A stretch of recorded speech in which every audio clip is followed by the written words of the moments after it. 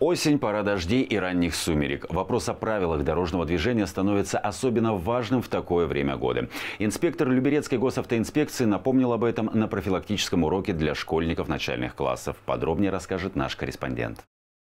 Место проведения акции Люберецкая школа номер 26 на улице Урицкого выбрано не случайно. Здание начало функционировать только в этом году. С приходом новых учеников начальных классов особо важно уделить время для напоминания о правилах пешеходного перехода. Запомните, если есть знаки такие, но зебру не успели нарисовать, можно переходить дорогу, только убедившись, когда машина полностью остановится. Инспектор акцентировал внимание на знаки, которые разрешают переход дороги, где нет светофора, объяснил, на какой цвет можно начинать движение, и особо важным было напоминание о светоотражающих элементах. С помощью них пешеходы становятся заметнее. Я бы хотела дать совет детям, чтобы прежде чем перейти дорогу, надо остановиться и посмотреть по сторонам. Э, если есть светофор, то надо дождаться зеленого света.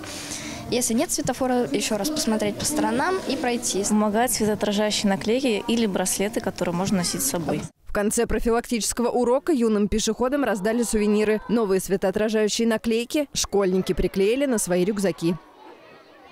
Анастасия Кладинова, Петр Пономаренко, телеканал ЛРТ.